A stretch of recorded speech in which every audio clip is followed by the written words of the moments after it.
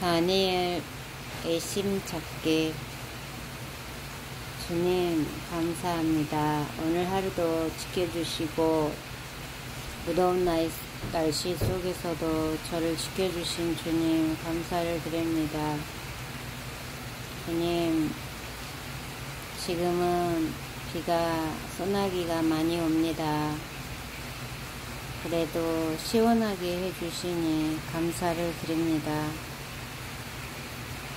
아버지 성령님 오늘도 저를 지켜주셔서 감사를 드립니다. 아버지 발에 저의 주님 발에 저의 발을 묶고 오늘 하루도 승리할 수 있도록 허락하시니 감사를 드립니다. 사랑의 하나님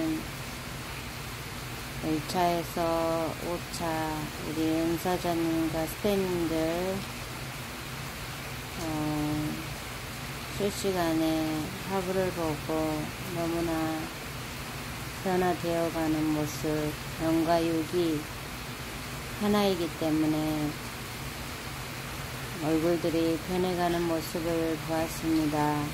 저는 우리 무릎신학교 힐링센터가 미국에 세워질 수 있도록 모든 환경을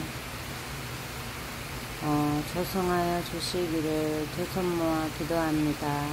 그리고 사람들이 아파요. 1부터 513영혼을 사랑하시는 하나님 모두 다 기적의 주인공이 될 수 있도록 주님 인도하여 주시기를 원하며 예수 그리스도 이름으로 감사 기도 드립니다. 아멘.